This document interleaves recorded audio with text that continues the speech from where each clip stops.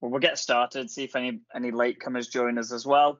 Um, if you've got any questions as we're going through, um, hopefully you can see the chat. Just feel free to drop any questions into the chat, and we can we can pick them up at the end. We've got some time for Q and A um, at the end anyway.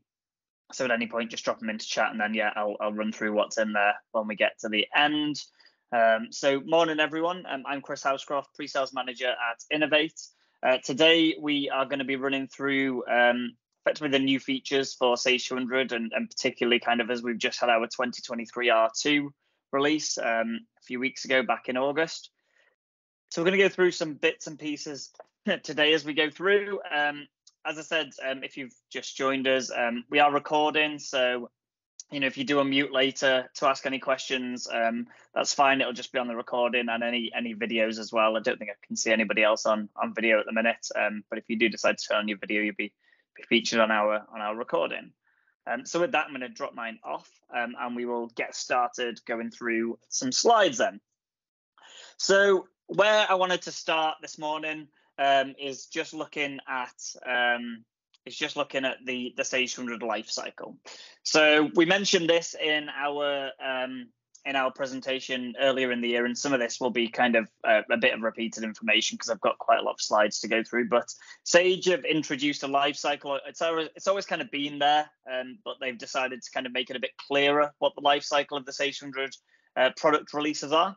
So um, as you'll see on the slide um, at the minute, there's uh, approximately three years. It, it was approximately um, because what was happening was the R2 was only getting the same end of support as the R1 release, but Sage have revised that now, so it is it is three years worth of support per release. Um, so you'll see at the top there on that um, slightly blurry image um, that we've just had a 2023 R2 release in August 2023. So that'll go through to um, extended support. Now it goes into extended support at the same time as the R1 release. It just goes to end of support uh, in August 2026. But what does that mean? Um, so that means that Innov8 will still provide support for that version. Um, we're not going to stop supporting you. Um, our customers will, will help you with any cases where we can and provide you with any support. Um, but Sage may require um, an upgrade to a supported version to assist with any support cases. Um, so if there's anything that kind of doesn't look environmental or doesn't look like something that's um, that they can advise on and could be related to a bug or a version, then they won't provide us with support until you move on to a, a onto a supported version of the solution.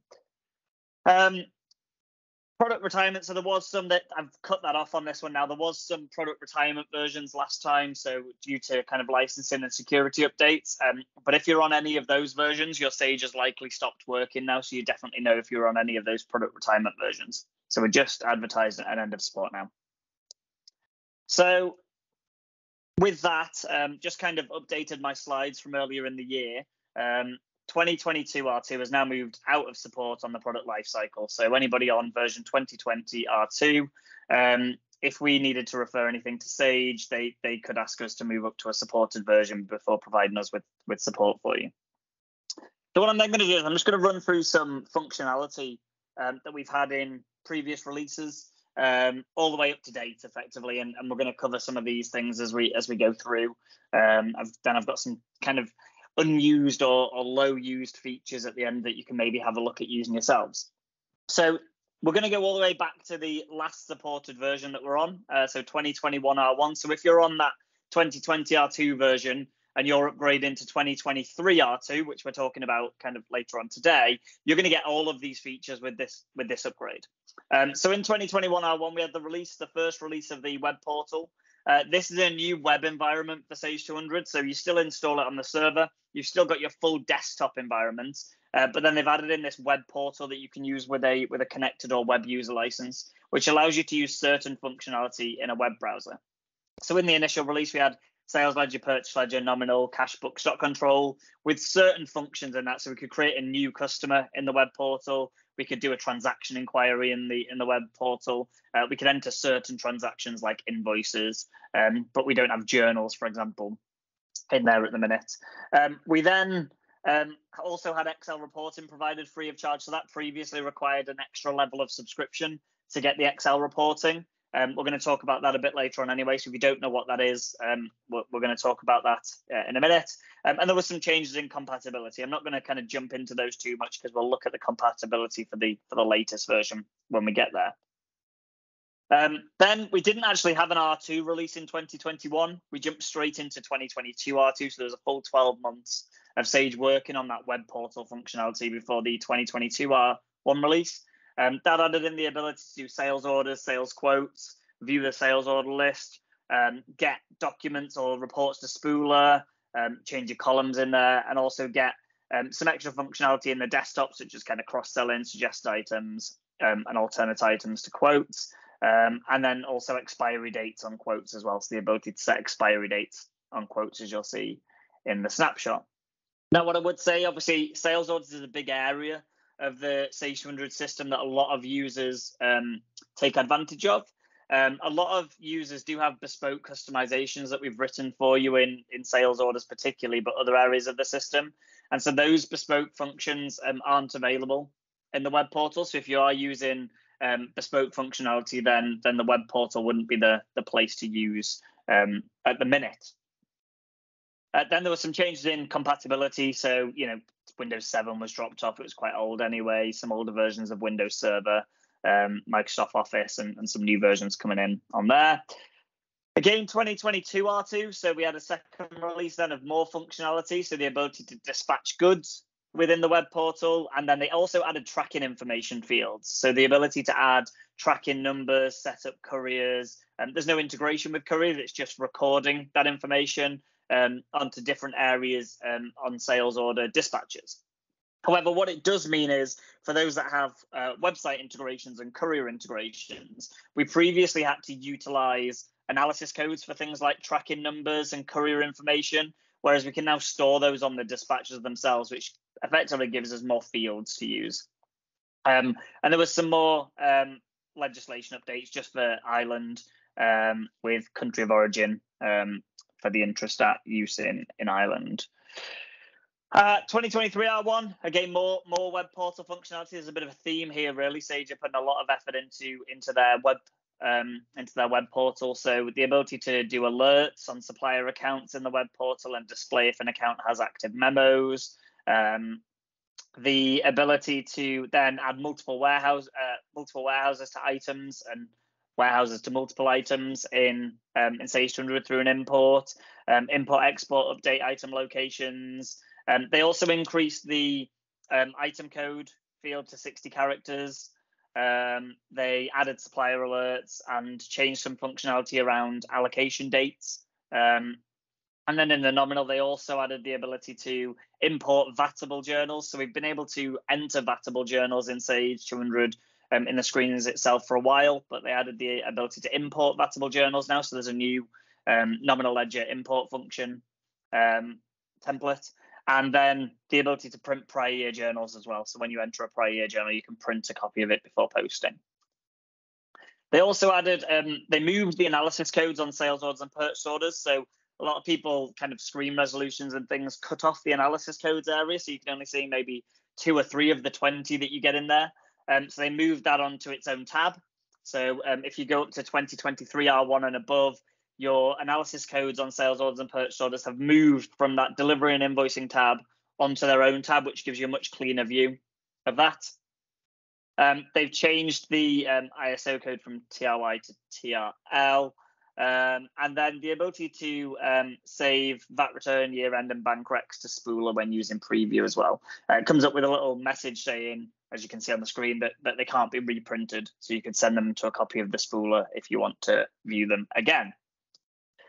There was then some further compatibility changes. So the latest version of SQL uh, 2022 added onto there, and some older versions again. Windows 8.1 dropped, um, Windows Server 2016 dropped, and um, SQL Server 2016. So that was earlier this year, which nicely brings us up to date.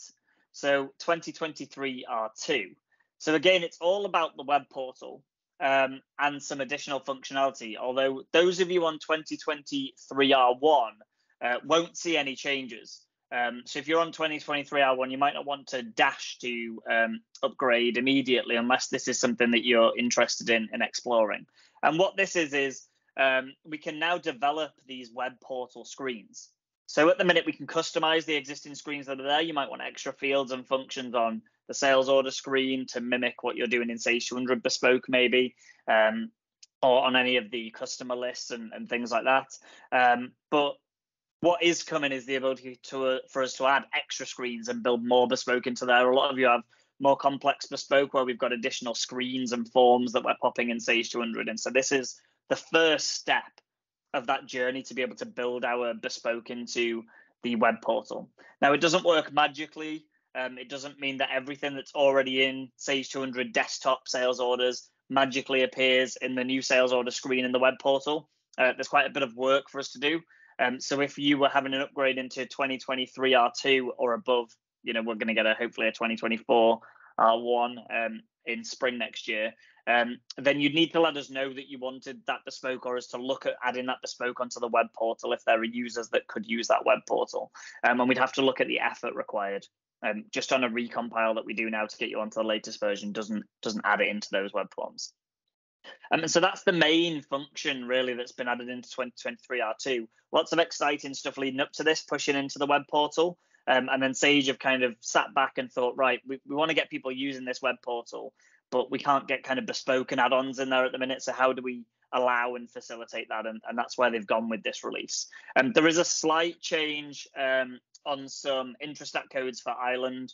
Um, so if anybody on here is is on Irish legislation, then there is a slight update um, on Intrastat for Ireland. So um, we can we can have a look at those if needs be in the help files, um, but it's just a very small change.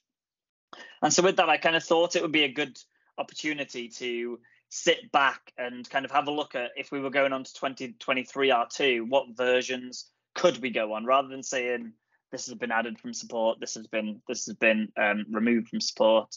Um, this is the current compatibility matrix for 2023 R2.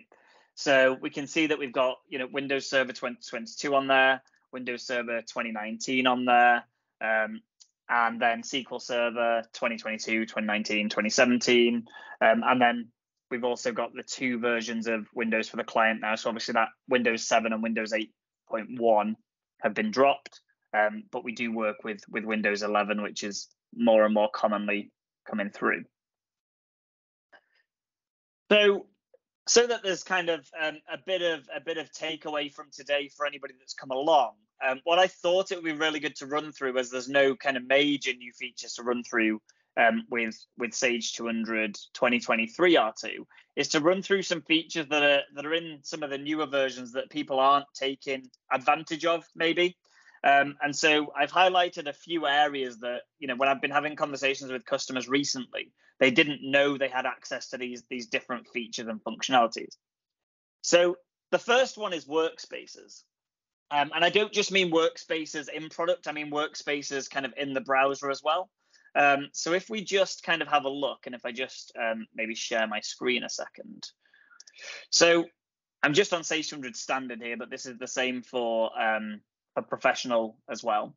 Um, so we can see within Sage 200, um, within certain menus, we've got under our inquiries these icons with globes on them. Um, some of you will already know this, and some of, of you will already use these. Um, or we've got the workspaces area that we can use as well. Um, this has got kind of loads of different kind of reports or, or views that you can use. Um, some commonly used ones for those that are using it is, for example, the payment control workspace and the purchase ledger. That's your suggested payments effectively. So instead of having to run your suggested payments, um, you can go in, you can see what's in the current suggested payments file. You can actually go in and, and go to your actions um, and kind of amend those as well. So you can go in and, and amend your suggested payments and things like that in here. Um, you can go in and, and, kind of run transaction inquiries, export any of this any of this data as well. Um, that's quite a nice one. Another one that's quite nice is the um, actually should have been the suggested payments one, but I should have been in. Um, the other one that's quite nice and popular is sales document status. And this is a sales order view, um, but on here you can kind of click on an order and see the lines at the bottom, and then you get your document detail as well on the um, on the right hand side. Um, so you can kind of see, you know, all that top level information. You want to see the delivery address, we can set the delivery address on there. Um, if there's been any dispatches, we'd be able to see any dispatches on there as well. Um, and then we can see the quantity at the bottom. We can then click into the lines, see the line information on the side instead, and again see dispatches, invoices. Um, but a lot of people like this um, pipeline as well, so they get used to seeing what these colors mean. So you know, green being like fully dispatched uh, or fully invoiced, sorry, orange being dispatched, ready for invoice, red being that there's stock to be allocated on there. Um, so they're quite nice to look at and, and use visually. Now, these workspaces, I'm currently using them in the product. So with any of these, if I click on them, um, I can double click or go into kind of amend details, and that will pop open my, my sales order um, form within Sage 200. However, we can also get this in um, a web browser as well. So just uh, drag that form over that's opened on my other screen. So we can open that. However, what we can also do um, is give people access to these workspaces in a browser. Um, it's, it's easier for those on standard because it's all already on the cloud. But for those that are um, on professional, obviously, if you're on our hosting solution, we can get you access to that over the web.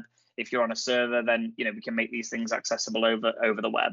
Um, but users that have got a connected or web user license, we can give them access to a web user, and they can view all of the same information in real time in a web browser. So if I was to go in and look at that sales document status workspace, shows me exactly the same information as if I was in Sage 200. I'm just in a web browser now. Um, and I can still export to Excel and do whatever else I want in here. Um, but I can't amend. So because we can't open those Sage forms, I can't amend any of the details in here. The other thing I can do in my workspace is especially useful in the browser is I can run certain reports. Now we can't add any reports to this, so what, what you see is what you get. But there is quite a lot of reports already in here invoice profit reports, there's financial reports on here, TBs, P&Ls. Um, and when we open those, we get the criteria like we would in, in the Sage application. So that's just going to open up with a new tab. It's just going to load the report for me. And then it's going to ask me for my criteria. So what do I want to run onto here? And then when I run it, what that will actually do is it will run the reports, but it will give me a PDF preview because we don't have Sage's report designer in this view. So that's going to run and that's just going to give me a PDF of my of my P&L layout. Now, those users that have got access to those web user licenses, they of course can also use the web portal that I talked about before. So um, I think the eventual plan is that there will be a link between going to see the sales order document status workspace and being able to get into amend an order in the web portal. Um, but again, this is an area of the system that's kind of Sage actively investing in this. So people can go in, they can see their sales order lists, um, if they've got the correct permissions, they can raise new orders, they can amend existing orders, and they can dispatch orders. That's one of the later things that was added. So we can go in and, and see quite nicely a, a web view um, of all that information. As I say, if you've got any bespoke, you won't see any bespoke functionality on here, but you could still give people access to view information if the standard Sage information is suitable for them to view. And equally, if somebody's just dispatching the order, um, then you can also do that on here. We can see all the information. It actually tells us a bit more than the, the desktop because there's a bit more dynamic fields on here. So we can see that, you know, these are late, they've highlighted orange. Um, I maybe don't have enough stock. So it's highlighting those in orange as well, which is a bit more graphic and visual than we get in Sage 200 desktop. Um, we can see customers, we can add customers, and we can lock all these permissions down based on what a user does or doesn't need to access. Um, and as I say, these users need to have a web user license or a connected license. So even if you're a Sage 200 full user, you still need a web user license if you want to use the functionality um, in, in the web instead. So that's quite an underutilized kind of area of the system, really. The other um, area of the system that kind of falls into workspaces because it, it, sits in workspaces um, is Excel reporting. So these are refreshable Excel reports and they, they kind of run pivot table reports. And again, if you've got people that are using the web workspaces, they can get access to these as well. And, and you can also access them um, in the desktop. So what these allow us to do is, for example, if we were to go in and look at a report, maybe like our stock transactions report, you'll see it's been completed and it gives me a last updated date. So it's not live. What we've got to do is tick on the report and press update. And it'll just tell us that it's queued for an update. And then it pops up saying, yep, it's been updated. So what we can then do is go down, select this report and hit view. That's going to download the report for us, and then it's just going to open Excel, which I will drag over for you to see now. And depending on the report will depend on what information we've got on here. So this is just an overall stock transactions report, and then it works very much like a pivot table. Is a pivot table, so we can go just show me all the goods in transactions, and that will filter all the goods out transactions, or maybe we can multi-select and show goods in and goods out on their own. Maybe oh, get rid of allocations and on orders and just show goods in, goods out. Um, then we've got some stock profit by item, um, lowest profit by item. So we've got some report uh, charts on there. And then the way that all of these run is effectively we get two tabs um, as default. So there's the Sage company tab, just has the company name on it. Um, and then the stock transactions tab in this instance, which is all the raw data. Now, what you can do is you can change any of these pivot tables or add any additional tabs that you want using that raw stock transactions data. And then within the workspaces, you can actually upload your own copy um, of the report. So actually that allows you to kind of customize it a little bit. And as long as that raw data, those two tabs that will be Sage underscore in any of the in any of the reports is kept the same, you can pull any data from that. So you can build your own custom reports within that Excel reporting. And so everybody's got access to that as well. And as I say, you can either use it in the web where I was just then, or it's actually got its own menu option in the desktop where you can get into Excel reporting and see the same screen and get into them from there as well. Um, the other area of the system that's very underutilized, and I can't unfortunately demonstrate it to you, so I'm just going to go in and um, just going to present my slide deck again instead. I'm just going to open it back up because just closed it. Bear with me. Um, is bank feeds. So a lot of people um, are starting to ask about bank feeds. A lot of people kind of don't know that they're already in there actually, and they can already use bank feeds. Um, so it's just another area that I wanted to to highlight as part of today's session. So I'm just going to just share my screen. Two seconds. Just find it on my list. There we go. So we just looked at workspaces um, and Excel reporting. Come on bank feeds and bank feed rules. So um, bank feeds um, are quite a nice area of the system that can help with both bank rec, but also streamlines streamlining the um, cash management process. So there's a lot of banks on it now. Um, there was always kind of a big Barclays weren't on it, and Barclays kind of didn't support bank feeds. Um, although I believe a lot of people have been moved over from Barclays.net or extended from Barclays.net into Barclays Corporate. Um, and so those people that are on Barclays corporate login or have a corporate login, um, that can now be connected up through bank feeds as well. And bank feeds lends itself to two functions really. So the first function is the ability to reconcile. So on screen, you can see your Sage transactions and your bank transactions, and you can match them against each other rather than having to do it on a physical statement. But then you've also got bank feed rules, and that actually allows for the automation of uh, transactions to be created. So you can actually identify a bank transaction and then set up a rule where you can actually say, you know, create um, this transaction if it exists in the bank. So it can be based on things like dates, um, references, account numbers, maybe values. Um, and that allows you to raise customer payments, nominal payments, supplier payments, any of those transaction types, and they can go through an approvals function. So effectively, what you would do if you've got loads of direct debits, um, you would set up your your bank feed um, rule, and then on a monthly basis, you just go into your bank feed approval, check what's in there, click approve, and they'll post through into the ledger without you having to post manually any of those transactions. So it can save quite a lot of time if you've got a lot of direct debit transactions, things where you're just literally having to go through your bank statement to create the relevant um, payment in Sage, and you don't always receive an invoice uh, monthly for those kind of things. You quite often receive quarterly or, or annual invoices as well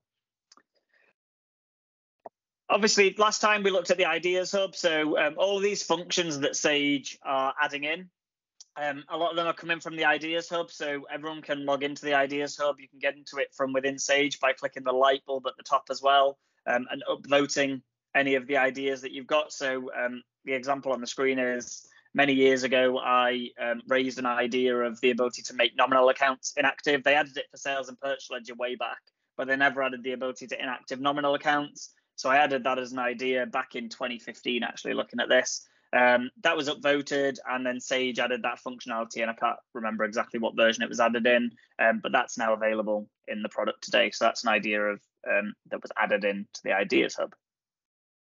Um, and the last place you can go and have a look is at the roadmap as well. So the Sage 200 roadmap is public facing.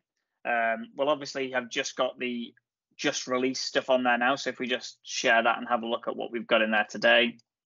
So we just share this screen and have a look what's in here today.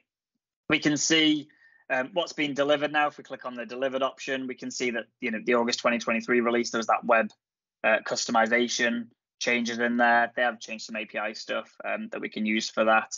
Um, and, you know, as I mentioned, interest Intrastat for the Republic of Ireland, um, but mainly changes to that development kit so that we can start to customize those those web workspaces and, and support the use of them in the future.